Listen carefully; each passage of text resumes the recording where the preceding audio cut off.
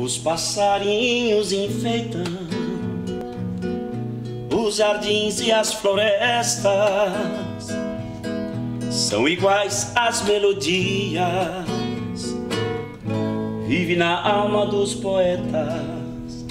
Toda pessoa que se emociona ao ouvir uma música sertaneja, ao escutar alguma moda que mexe com a saudade, mexe com a lembrança, sabe o quanto isso é prazeroso. E o meu trabalho é isso. Eu levo para a tela aquilo que me emociona quando eu escuto.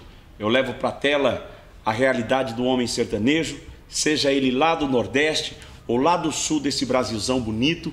Eu gosto muito de pintar tudo o que a vida sertaneja nos traz de inspiração. Eu comecei a pintar, eu tinha oito anos de idade e um dia eu pedi para meu pai uma tela. O primeiro desenho que eu fiz foi um cavalo debaixo de uma árvore e eu estava lembrando de uma moda do Liu e Léo.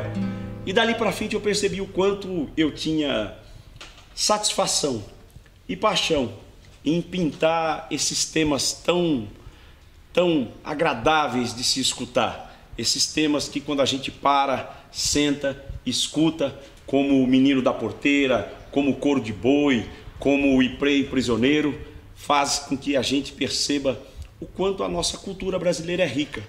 E as minhas telas trazem isso.